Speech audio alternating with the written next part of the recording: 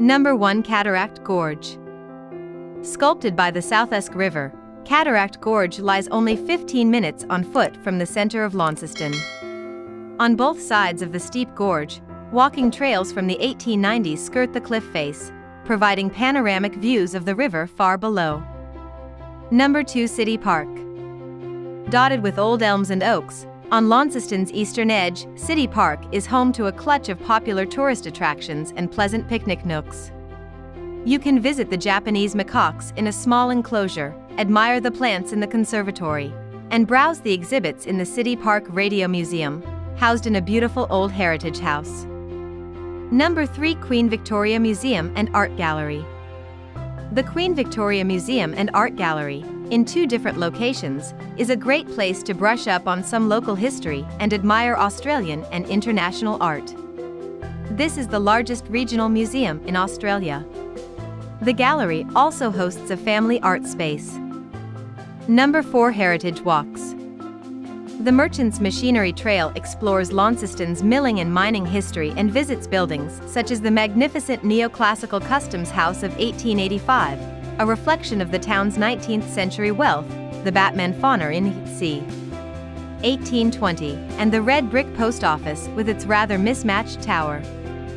Number 5 Tamar Island Wetlands. A 10-minute drive from the center of Launceston, Tamar Island Wetlands is a haven for nature lovers, especially birders. First stop should be the Interpretation Center, where you can learn about the history of the Tamar River, the wetlands ecosystems, and the resident wildlife. Number 6 Hollybank Wilderness Adventures. At Hollybank Wilderness Adventures, about a 15-minute drive northeast from the center of Launceston, thrill seekers can choose from multiple adrenaline-charged outdoor activities glide up to 50 meters above ground through a blue gum forest canopy between cloud stations on a 2.5-hour zipline adventure.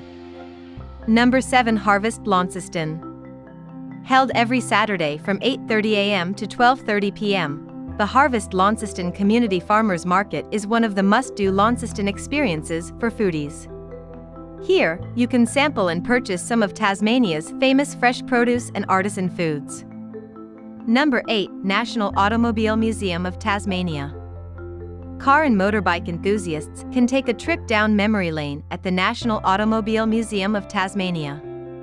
Opposite City Park, the museum displays an impressive collection of well-restored cars and motorcycles, with four themed exhibits every year such as Jaguar, British Sporting Heritage, Rolls-Royce, and Aussie icons. Number 9 Princes Square. Surrounded by elegant Georgian and Victorian buildings, 19th century Prince's Square is one of Launceston's finest public spaces. It was once a clay pit for building bricks and later became a parade ground and place of assembly. Number 10 Royal Park. To the west of Launceston Town Centre, at the point where the North and South Esk merge to form the Tamar River, Royal Park is another popular green space in the city. The park is home to the Queen Victoria Museum, as well as Launceston Cenotaph. Hope you like this video for more videos please subscribe to our channel.